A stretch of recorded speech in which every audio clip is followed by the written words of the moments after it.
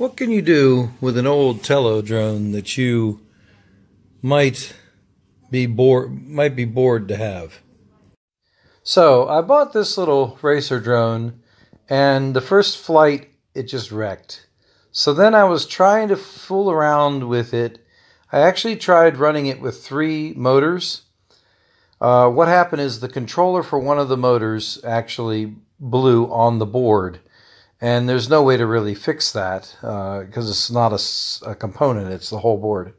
So I tried making it a tricopter, but that didn't work very well. And then I had this idea of using the Tello and actually attaching it to the racing drone body, racing drone frame.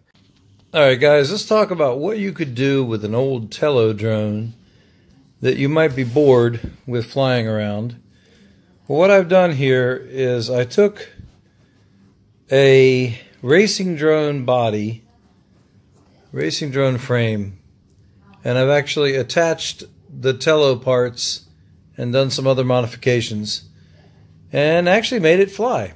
It's pretty cool.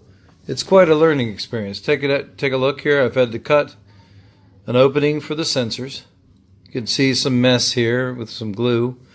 Um, you know, I'm fine tuning it now. It is flying pretty well. Uh, I will probably clean it up, make it look prettier.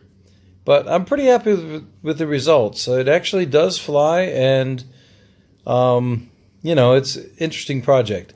So yeah, it seems to be a little bit quicker than the actual Tello was too. So it's a little bit faster. Anyway, I'll show you how it flies.